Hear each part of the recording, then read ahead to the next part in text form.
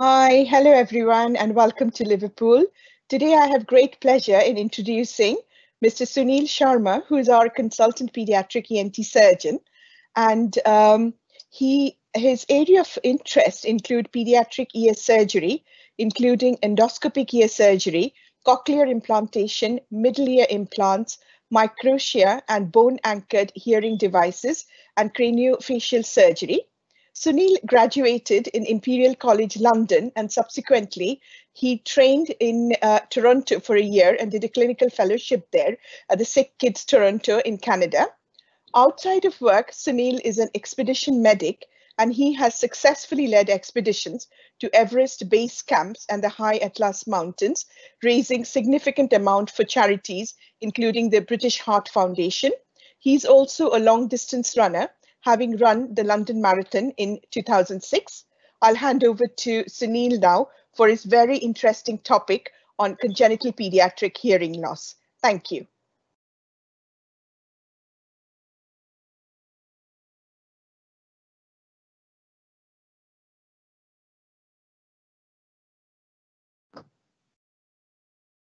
Thanks very much, um, Umi and uh, Senthil, and uh, to Jody. Thanks very much for giving me the opportunity to talk today. Um, so uh, my name's um, Sunil. I'm uh, one of the pediatric ENT consultants at Alder Hey. Um, so today I'm going to talk about uh, congenital pediatric hearing loss, um, and then we can um, take some questions at the end as well.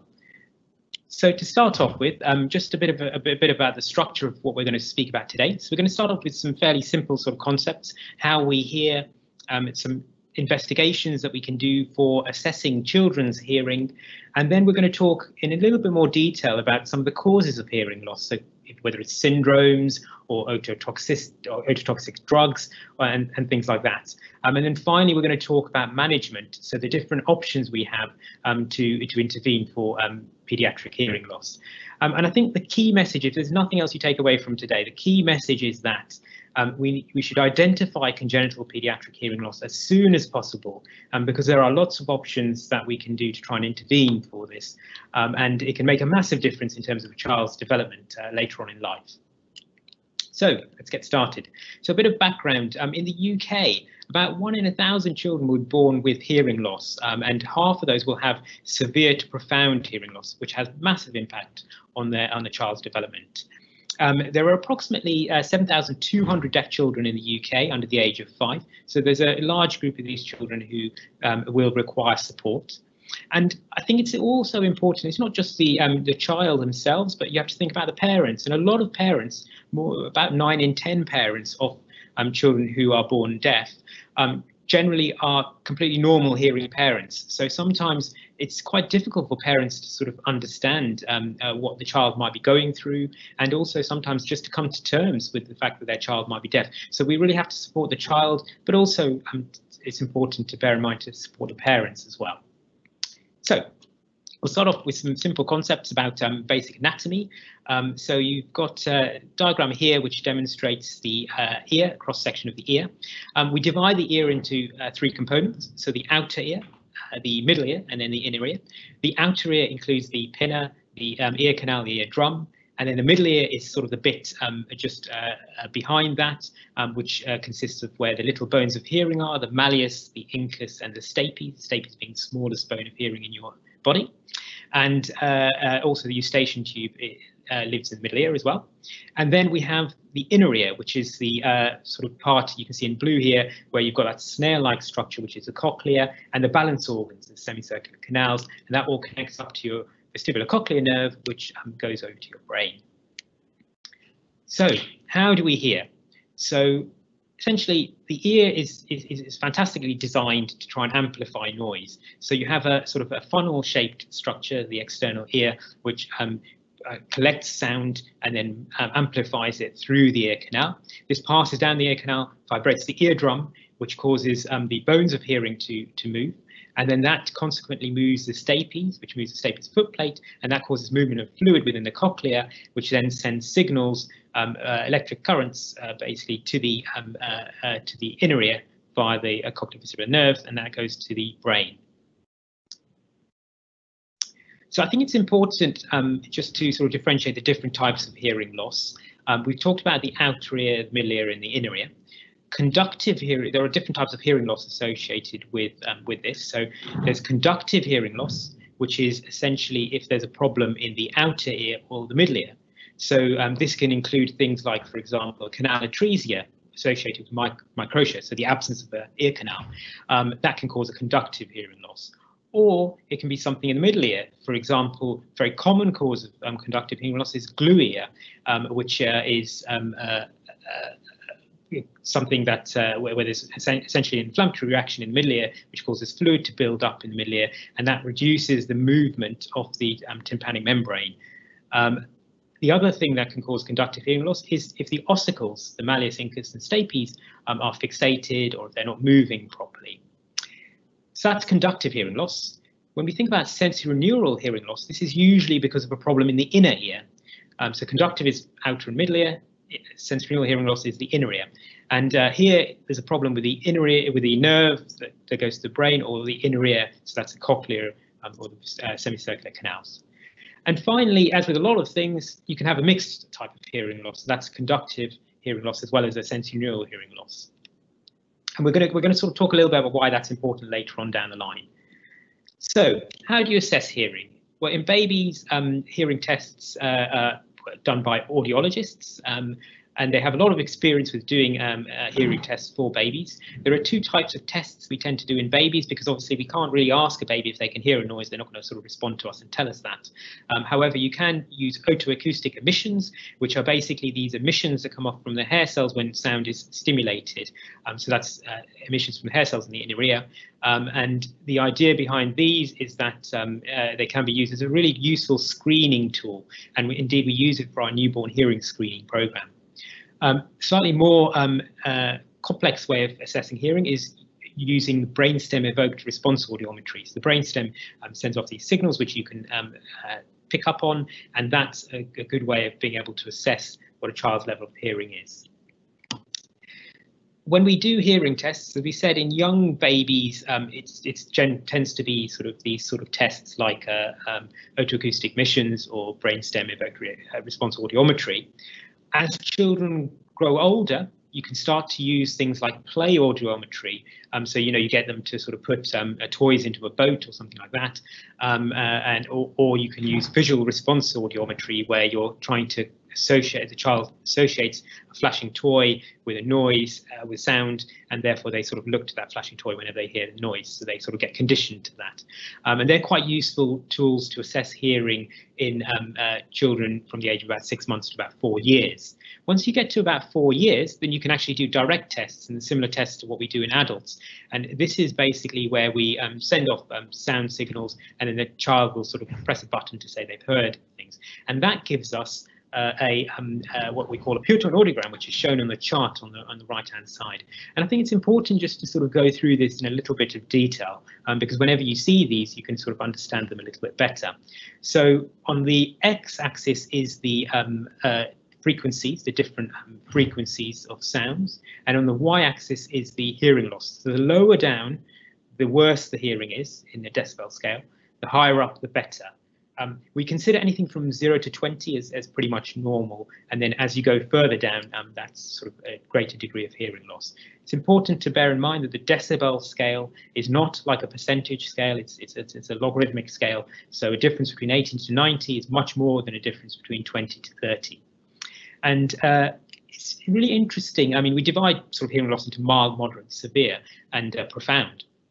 But um, it's really interesting, actually. If you just sort of press on your tragus and you just push sort of in, and as I carry on talking, uh, that's the degree of hearing loss you're achieving by doing that is around about 25 to 30 decibels. So it's it's pretty. I, I don't know if you find this, but I find it's pretty significant when I'm sort of doing, you know, just just that press pressing. I, I lose a lot of my hearing. And that's what we would consider a mild hearing loss. So you can see the impact on children, you know, of any sort of even mild, moderate hearing loss can be massive for them.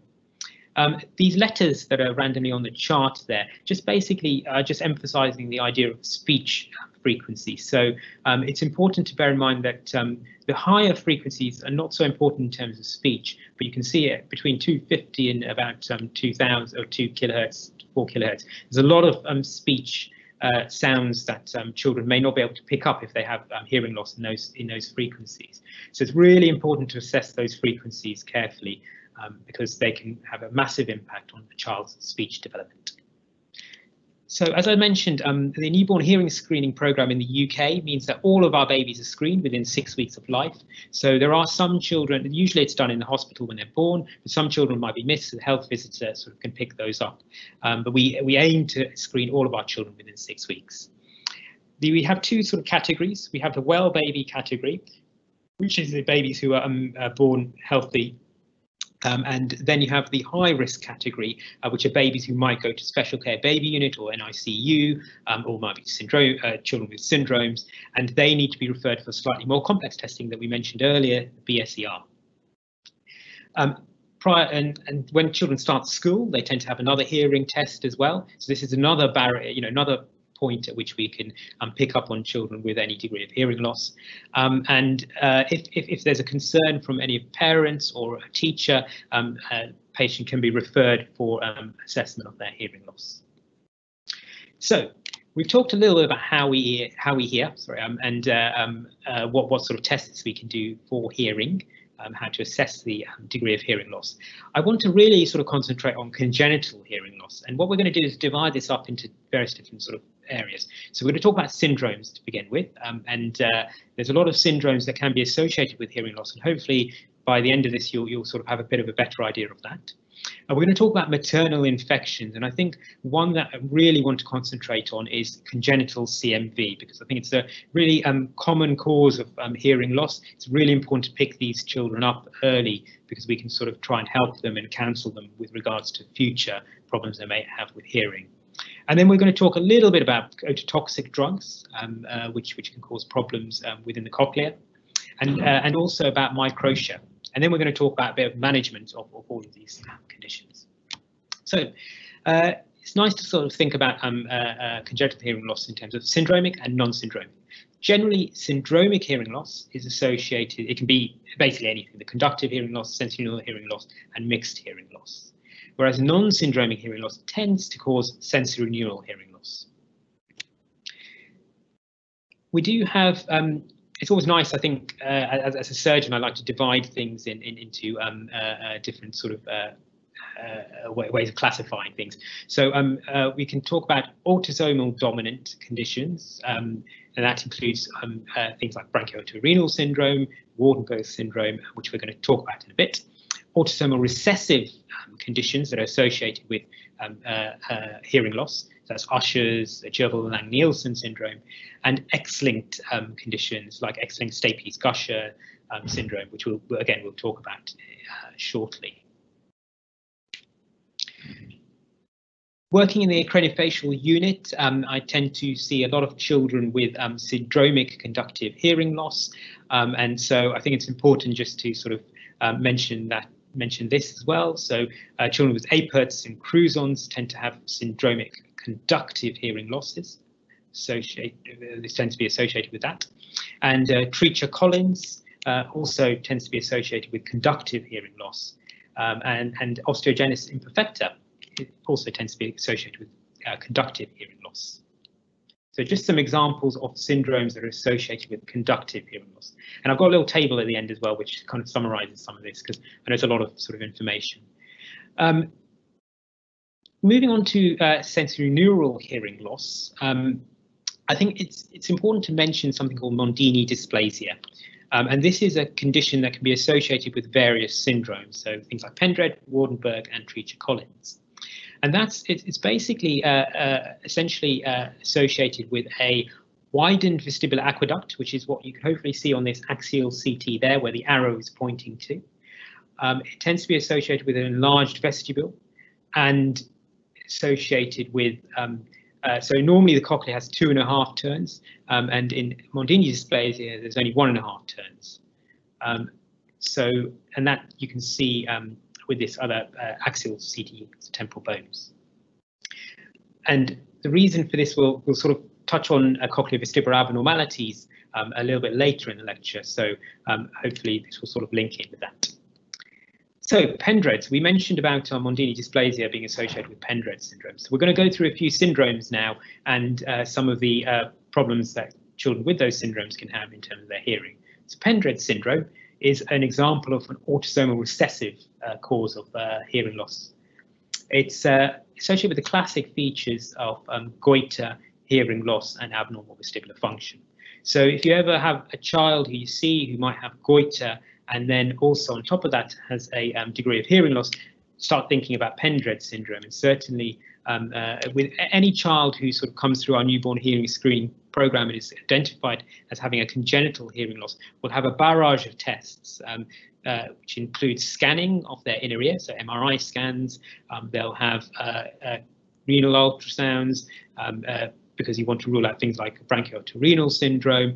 Um, they'll have uh, an ECG to rule out Jervell-Lange-Nielsen syndrome um, and uh, various different other sort of assessments um, which, uh, which, which, uh, which, which allow us to sort of pick up on any of these congenital causes for, um, uh, sorry, uh, syndromic causes for congenital hearing loss. So moving on, um, talk about Waardenburg syndrome. this is the most common autosomal dominant cause of um, hearing loss and syndromes.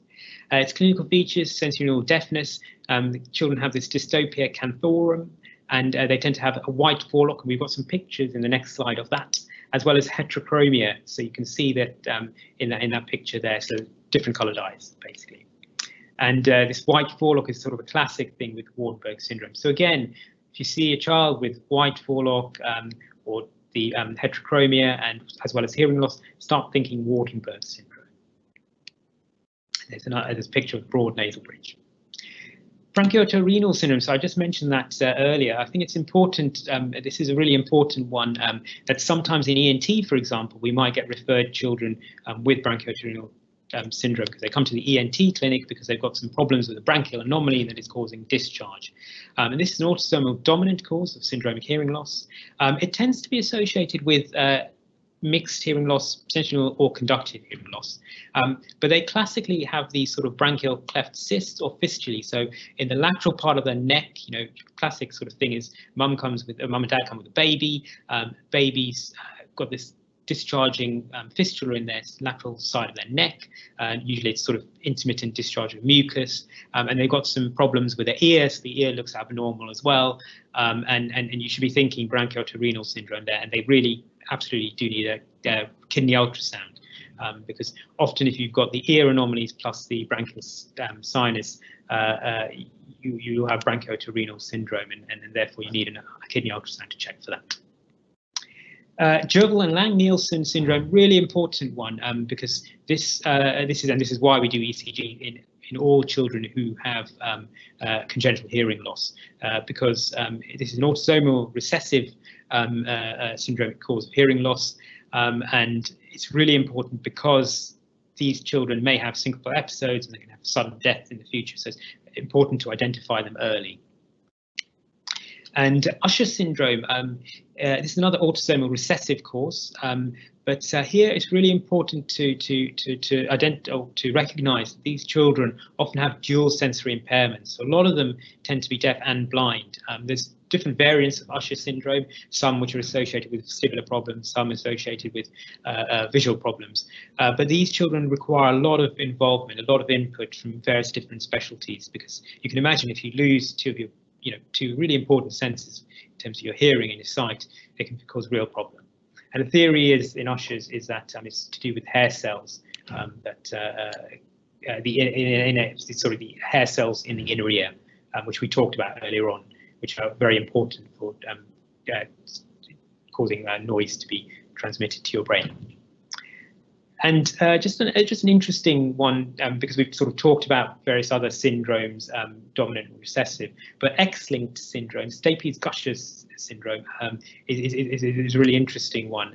And the reason for this is basically you can see these uh, CT scans, um, axial CT scans, and what happens here is uh, essentially there's a there's a big buildup of pressure um, behind the oval window um, on which the stapes sits. So if you have a uh, if you if you take a child um, or if your child's having ear surgery and you do a, a stapes um, operation where you're going to be sort of opening the, you know, removing the stapes superstructure, um, that can, and then opening a hole um, through the stapes footplate into the oval window, that can suddenly cause a um, a release of that pressure. And what actually happens is that all this um, build-up of, of, of, of, perilymph just suddenly sort of um, uh, comes out into the middle ear. And it can be quite frightening if you um, operate on these children without knowing in advance, um, because suddenly there's this gush of clear fluid which just keeps on coming out and out.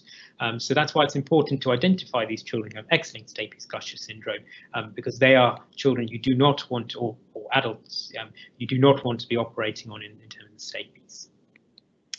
And there's some um, uh, uh, coronal pictures just, uh, just to demonstrate that. I thought it's important just to mention about uh, connexin 26 mutation. Um, now this is a uh, this is sort of um, an autosomal recessive um, non-syndromic cause of hearing loss, and it's the most common cause of uh, non-syndromic cause of hearing loss. Um, it's due to mutations in the GJB2 gene, um, and we're going to look at a little picture of, um, of what that's to do with in, in the next slide, um, because it's it, the that gene um, codes for a transmembrane protein, uh, which is um, in the stria vascularis, as you can see on this picture. Now, this is a cross section of the cochlea. You've got the scala vestibuli, the scala media, and the scala tympani. The endolymph is the fluid that sits in the scala media, and then perilymph in the scala vestibuli and scala tympani. And uh, what happens is that um, the scala um, media, which contains the endolymph, has very potassium-rich fluid um, compared to the other other other other uh, compared to the other um, uh, um, and that uh, because there's a problem with the um, uh, transmembrane protein, that causes problems with potassium transport, and then that has a knock-on effect at the inner ear hair cells, which um, sit in the scala media and causes um, problems with transmission of sound.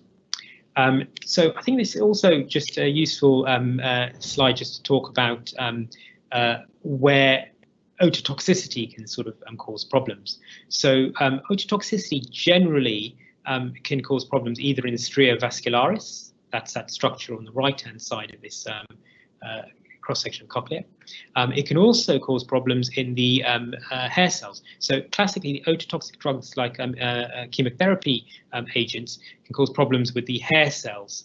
Um, and, and, as we said, that can then have a knock-on effect with uh, sensory hearing loss. Um, and finally, uh, if you have some drugs like aspirin, they can actually cause problems with the inner hair cells. You've got inner and outer hair cells, um, and uh, and some of the anti uh, well, chemotherapy chemotherapy drugs also can cause problems with the inner hair cells. So I know we've gone through a lot of things in terms of syndromes here. So this is a nice little just table summary of what we, you know, some of the salient features of uh, different syndromes um, uh, with regards to hearing loss and some other features. So it's you know quite a nice sort of one way which you can look back at. So if you see a child who has uh, retinitis pigmentosa and hearing loss, think ushers. If you see a child who's got thyroid problems like goiter and uh, hearing loss, think pendreds. So, um, so I think it's, uh, it's it's a nice little sort of um, summary slide of, of, what we've spoken about. Um, so I, I, mentioned about um, uh, uh, maternal infections causing um, uh, uh, problems with um, hearing. so congenital CMV, I think it's really important to mention um, uh, because it's, uh, it's it's quite it's, it's the most sort of common cause of um, hearing loss in terms of maternal infections. And if you can identify early, there's a possibility to sort of do something to treat it. It's also important to mention that with congenital CMV, actually the majority of um, children are asymptomatic. Um, only about 5 to 10% tend to be symptomatic. Um, and uh, the ones who are symptomatic, a lot of them tend to have sensory hearing loss, um, whereas the ones who are asymptomatic don't have don't tend to have as much um, incidence of uh, sensory hearing loss. So how do we detect congenital CMV? Well, it's um, testing within the first three weeks of life. Um, so you can do urine cultures or you can do um, uh, PCR on saliva or um, on urine. Um, and uh, this is quite useful um, in the first three weeks of life uh, to pick up on the um, to pick up on uh, on whether they have congenital CMV. But sometimes what might happen is you might pick up on CMV later down the line, and then you want to know do they have congenital CMV or is it acquired CMV? And the best way of doing this is we um, all babies have the dried blood spot testing, um, which is archived, um, and that tends to get uh, kept, um, and so you can refer back to that. Sorry, just one second. Sorry.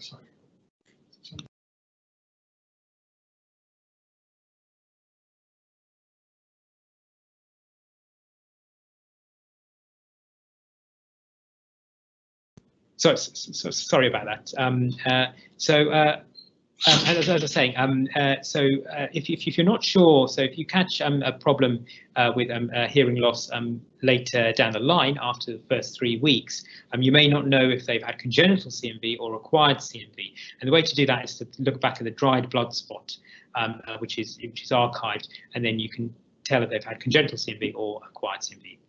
Um, when we scan some of the children who have congenital CMV, um, we do find some non-specific sort of imaging findings. They have these sort of areas of calcification classically in the temporal lobe region, which you can see um, on the uh, MRI here.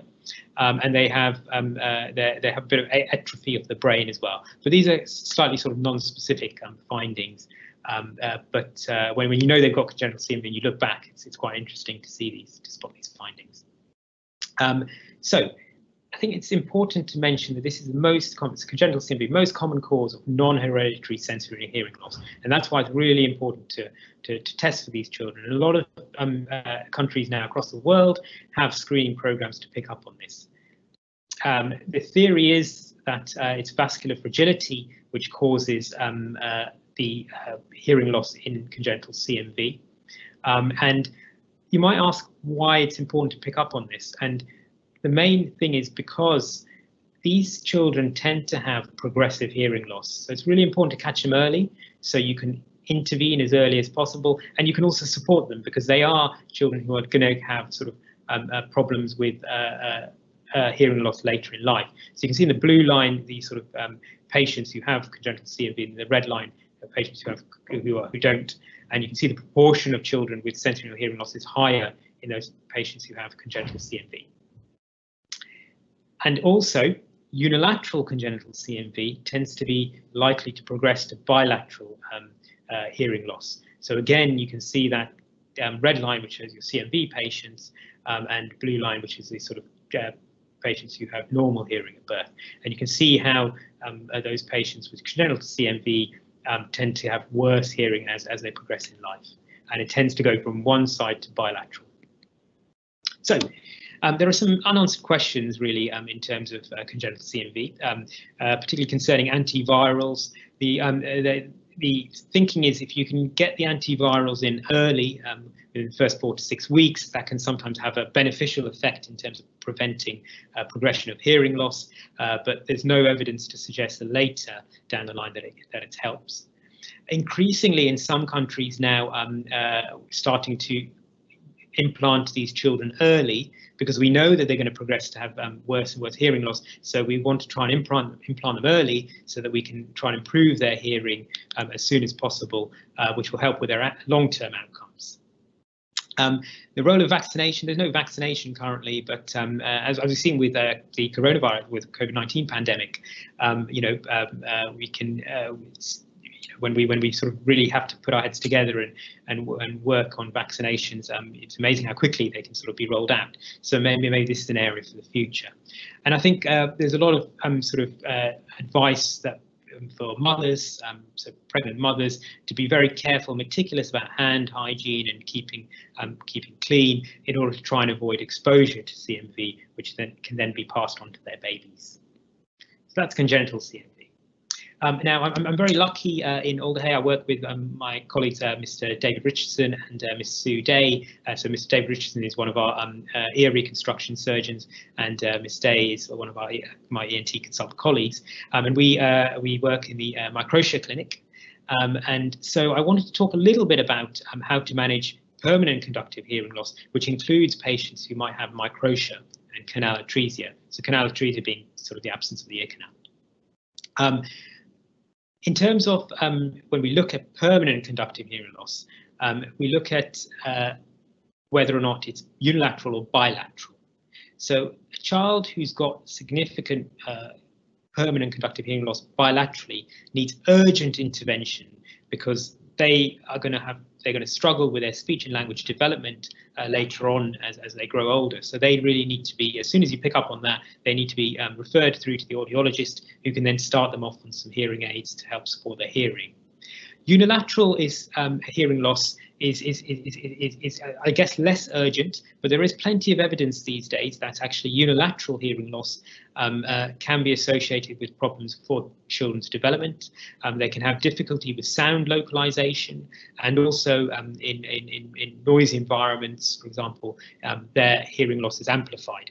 Um, so, so it's important to consider hearing rehabilitation even for children who have unilateral hearing loss. So the majority of children with microtia tend to have unilateral isolated microtia, um, but these children will still need some intervention in the form of um, uh, hearing rehabilitation. So it's really important to sort of um, capture these children. In the UK, the sort of referral pathway for these children is um, is is quite variable. Um, so they can sometimes be referred to ENT, they can sometimes be referred to plastics, sometimes through to audiology, um, sometimes through to pediatrics. And it's really important that um, everyone's aware that these children will then need to come through to the microtia clinic so they can have all their needs um, sort of seen to. And in the microtia clinic, we're very lucky to have um, an audiologist, ENT surgeon, and uh, uh, um, ear reconstruction surgeon. So we can sort of deal with all, all, all, those issues. And we have access to sort of geneticists and psychologists as well, who are important. So that's microtia as demonstrated in the picture. The other cause of permanent conductive hearing loss can be abnormal bones of hearing. So we talked about the middle ear previously, if you remember, um, so the malleus incus stapes. Sometimes they might not be formed properly, there might be a gap between the two, or there might be abnormal joints, and that can cause a permanent conductive hearing loss. And we're going to talk a little bit about some management options for this. So when we think about um, canal atresia, uh, you might ask a question, well, there's no ear canal, so why don't we just reconstruct the ear canal? Because if that's the cause of the problem, if we make an ear canal, hopefully that will help them with their hearing. In the UK, um, uh, the outcomes with canal reconstruction are unfortunately very poor. We found that um, uh, A, so if you imagine you've got a canal atresia, you've got a dry ear because they, they don't have an ear canal, so there's nothing, you know, no discharge that comes out. As soon as you make an ear canal, you do an operation to try and make an ear canal, um, unfortunately that can then cause them to have a wet ear because now suddenly there's a portal um, for them to sort of have infections and, and that can cause them to have a discharging ear. So that's one thing, you don't really want to convert a dry ear to a discharging ear. And second thing is that unfortunately we seem to have poor outcomes in terms of um, uh, uh, being able to have a, a, open sort of um, ear canal. And often these ear canals will stenose after surgery, um, despite the best efforts of, of every, everyone.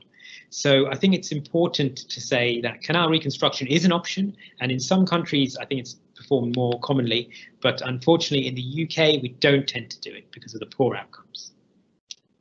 So we talked about permanent conductive hearing loss because of problems with the ossicles. Um, uh, so that's the little bones of hearing in the middle ear. There are options to try and do an ossiculoplasty, which is basically replacing those little bones of um, hearing. Um, but the outcomes here are variable. I'm going to talk a little bit about that in a second.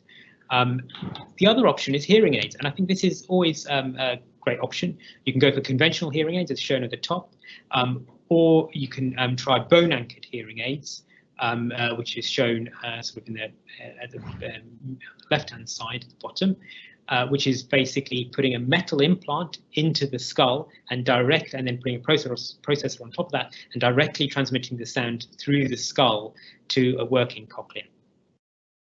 Um, and then also the other option is bone conducting hearing aids, which are these sort of soft band um, uh, uh, hearing aids which can pass um, uh, sound. Again, it's similar sort of principles to a bone anchored hearing aid, a surgical bone anchored hearing aid, but it's basically passing sound through the processor, through the soft band.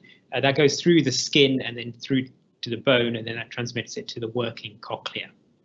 Um, so those are different options. And indeed, in children with microtia, for example, to begin with, we'll give them soft bands um, uh, because that's a non-surgical approach. And then when they're a bit older, uh, around the age of five, will offer a surgical option to insert um, the implant into the skull bone um, in order to improve their hearing.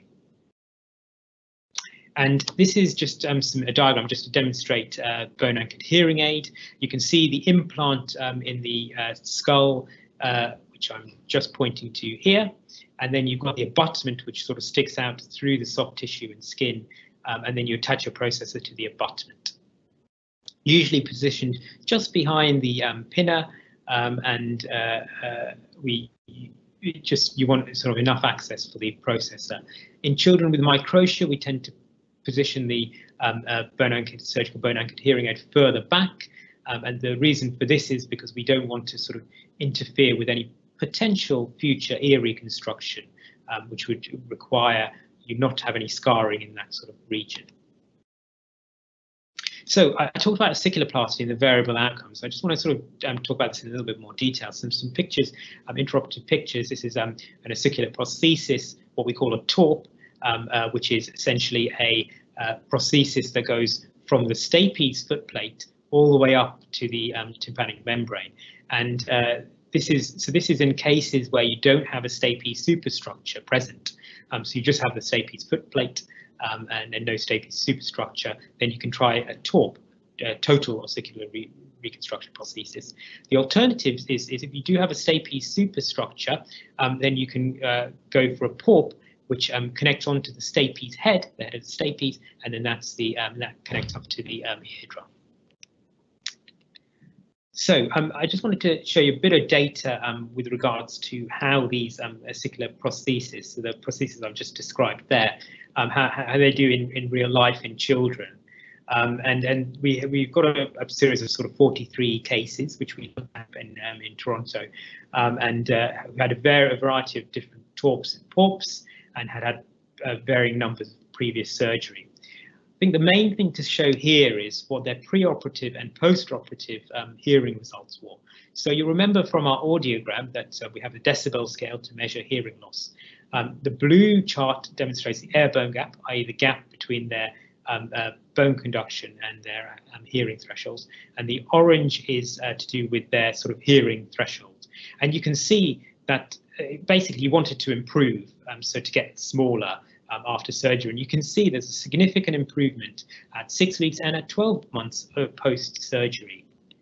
Um, uh, but I think the important thing is to look at the slightly longer term audiogram results. So the first six to 12 months, great results. But then as you as you sort of spend a bit longer, you find that the, the hearing results again are creeping back up. So the higher up this graph, the worse the hearing. And you can see it's starting to creep back up again, um, uh, you know, after a period of um, a few years post-surgery. And that's probably the biggest problem with doing um, these sort of uh, uh, ossicular um, reconstruction in children. We just, it's the long-term results, unfortunately, don't seem to be that great.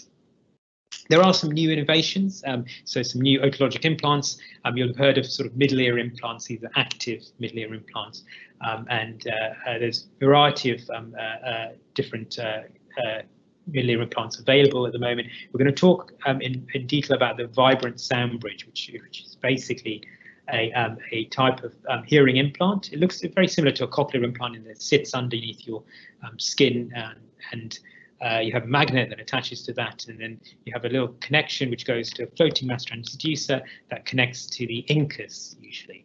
Um, and this is just a little uh, image showing that. And here you can see an intraoperative picture of, of, of that um, of that implant going in. You can see the floating mass transducer um, being connected to the uh, incus. And here you can see um, some of the improvement in the um, audiogram. So that's pre-op and that's post-op with the A's. Um, so you can see that they get aided, they get great um, uh, hearing. I want to talk a little bit about cochlear implants. Um, I'm sure you're all sort of aware of these. Um, so NICE guidance for cochlear implants is demonstrated here. So in 2019, guidance um, uh, changed uh, in the UK so that um, we can actually implant a child who has um, any hearing loss 80 decibels or worse bilaterally um, without uh, hearing aids. Um, and I think it's really important. So a lot of you, you may, may, well see these children in any, any sort of specialty. You might see these children who have problems with their hearing. Um, and I think it's really important that um, if you're unsure, just refer them on to an implant centre um, because they can then get assessed. Some children may not, you know, be may not be appropriate, but at least if you refer them on, we won't miss them, and therefore, um, uh, you know, you because you really don't want to miss children with hearing loss um, because if, if the evidence is that if you can implant them early, um, you get really good results. Um, whereas if they're left too late, then they can have some long-term problems. And uh, this is just some diagrams of cochlear implants. So just to make it very sort of simple, um, you have the outer piece with a microphone processor, and you have this thing called the receiver stimulator, which then sends a signal down, which connects into the cochlea and then stimulates the cochlea, um, uh, which then sends um, signals to your brain.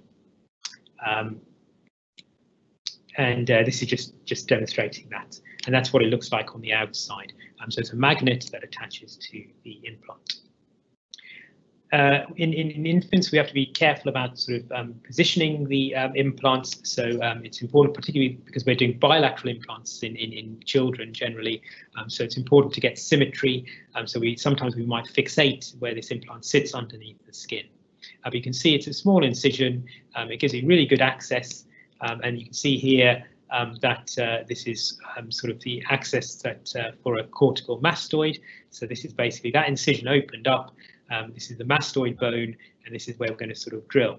So you do a cortical mastoid, um, and then that's the sort of end result. So you can see the different structures here, the back wall of the ear canal, which is there. Um, you've got the lateral semicircular canal sitting there, the tegmen, and then the brain up there, and then the sigmoid sinus in the back here. And uh, we'll just close in on that area, which is um, the facial recess, which is the area where we go in for the implant. This is just a radiological axial cross section of that, um, just to show you um, where we would go in the facial recess to go into the round window, which is where we usually insert a cochlear implant.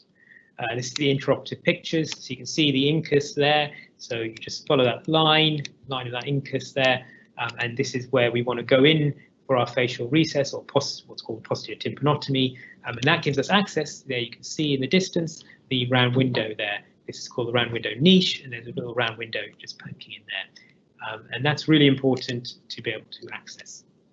I think it's just a, a, word of caution. Sometimes you can get confused between this, which is a hypotympanic air cell, and the round window. Um, it's really important because this is not part of the cochlea. This is below the cochlea. This is the cochlea. There's a round window, and that's going into the cochlea. Obviously, you want to get a cochlear implant into the cochlea. Um, you don't want to get into the hypotympanic air cell um, which is demonstrated there. And this is the result of that. Um, so if you insert it, you can basically, uh, unfortunately, damage the uh, electrode. Um, and uh, as I'm sure you're aware, cochlear implants are very expensive pieces of kit. Um, so you have to be very careful about avoiding hypotympanic air cell.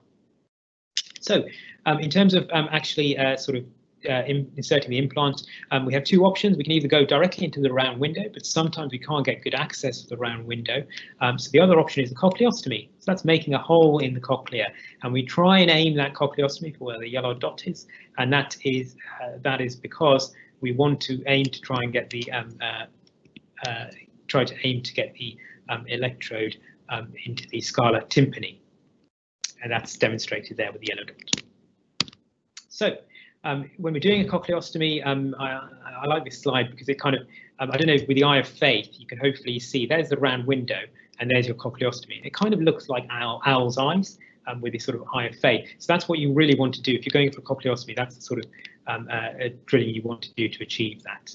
And that's demonstrated there.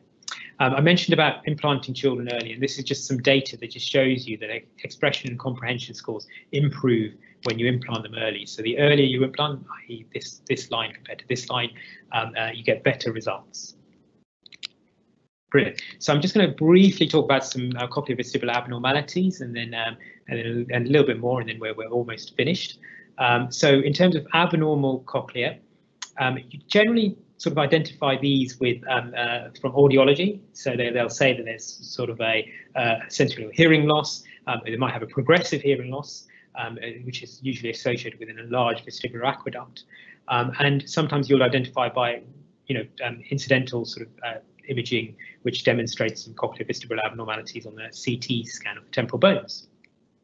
Um, we looked at a series of our um, uh, implanted children, and, um, uh, and uh, a lot of them actually had um, uh, abnormal cochlear vestibular anatomy in, in, in Sick Kids Hospital.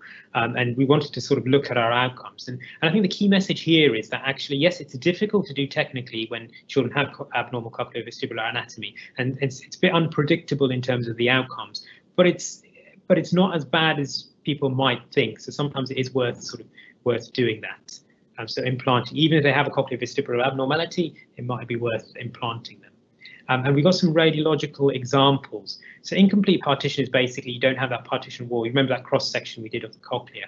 Um, you don't have the uh, um, uh, uh, partition and wall there, which causes sort of a mixing of the um, uh, endolymph and perilymph. Hypoplastic cochlea can also um, cause problems um, uh, uh, in terms of um, sensory hearing loss. And you can have this common cavity deformity, and we'll, we'll talk about that in a little bit more detail in a second. Um, and uh, narrow internal auditory canal, um, which is sort of demonstrated there, can also cause problems with uh, hearing loss.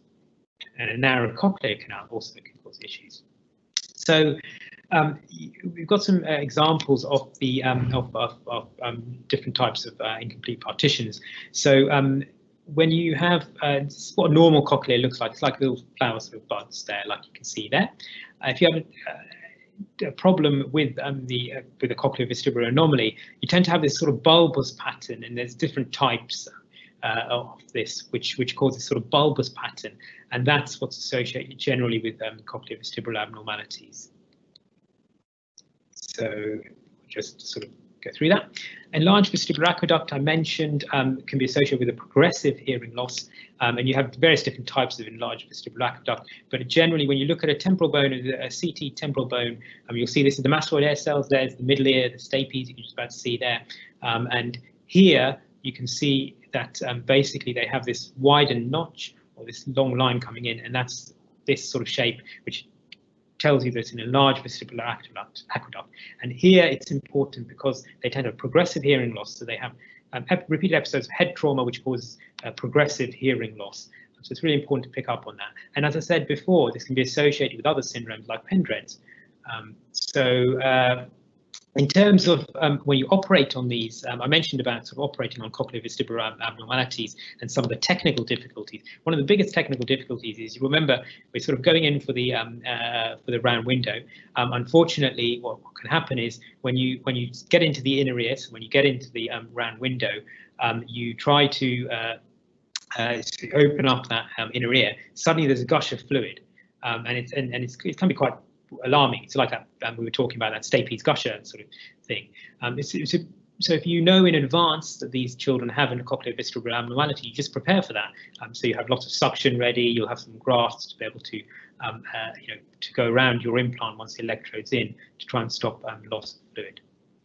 Facial nerve anomalies also uh, make life a little bit more difficult, um, uh, especially associated with charge syndrome, um, and uh, you can get this sort of normally you'd have facial nerves just one um, uh, one nerve going along in your this is a posterior tympanotomy uh, there's promontory there and facial nerve usually sits there and goes down like that. But in these facial nerve anomalies sometimes they can split into two and they can uh, cause problems when you're trying to sort of drill in that region and do an operation in that region. So again um, forewarned is, is, is, for yeah forewarned is, is, is, is useful. So doing CT scans and imaging prior to surgery is important. And we always use facial nerve monitors, so tell us if we're getting close to the facial nerve.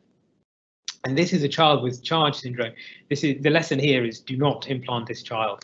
Um, you know, there's there's a lot of problems here. There's a whole there's a prominent sinus pericranii, which means you can't drill through here um, because you're just going to just bleed like crazy. Um, and uh, they've got an anterior displaced facial nerve and hypoplastic cochlea. These are the sort of children you just got to say, I'm sorry, but um, uh, cochlear implants are probably not the option for you. Uh, so let's just say that um, cochlear vestibular abnormalities, you can implant these children, um, but it's challenging. Um, and uh, if they haven't got a nerve, that's a different matter. You know, you shouldn't really be implanting those children.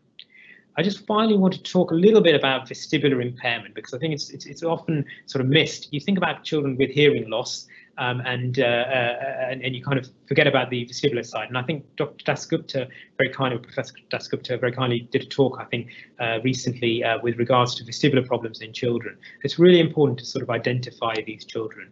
Vestibular loss impacts your balance, and children with hearing loss tend to have poorer balance. So it's important to pick up on these children. Um, when you we, we, we, you know we've talked about these syndromes and um, and various conditions and I think it's quite this is quite a useful chart just to say that um, there are certain conditions that are more likely to be associated with vestibular anomalies um, uh, such as um, meningitis, ototoxicity, cochlear vestibular anomalies, uh, rather than your connexin 26, which we mentioned earlier, or autoimmune causes of um, hearing loss, which don't tend to be associated with um, vestibular dysfunction. So these sort of things you think hearing loss and vestibular problems, these sort of things tend to just be hearing loss. Um, and uh, you can see here that um, uh, even unilateral hearing loss, so remember our my children with microtia with unilateral hearing loss, um, even though these children tend to have poorer balance. Um, so even unilateral hearing loss can cause problems with balance. So please don't forget balance. It's important to um, uh, to pick up on it as early as possible because we can offer options to try and rehabilitate these children. Um, and sometimes, unfortunately, when children have balance problems and uh, hearing loss, the risk of their CI failure is higher as well. So we've gone through a lot of information, I know that, um, talked about um, how we hear, and a little bit about sort of um, investigations that um, we can use for assessing children's hearing. Talked a lot about causes of hearing, including, including um, syndromic causes, non-syndromic causes, and finally we talked a little bit about management. Um, uh, and uh, and I think the key message here is if, if you've got a child with hearing loss, uh, intervene as early as possible um, because it can really have a massive impact on their um, speech and language development.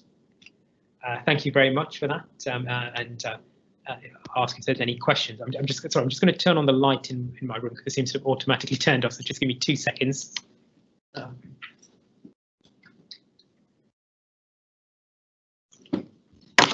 thanks very much. Okay, um, I can stop sharing maybe. Thank you so much, Mr. Uh, Sharma. That was absolutely fantastic. Um, we don't have any questions at the moment, so I was just going to pass over to Dr. Das to close, if that was okay. Okay, that's, that's brilliant. Yeah, thanks, thanks very much. Okay, uh, thank you, Sunil, for the wonderful presentation. I really learned a lot today. And thank you all uh, for joining us. Uh, see you all again next week and uh, wish you all a very good evening. Thank you. Bye.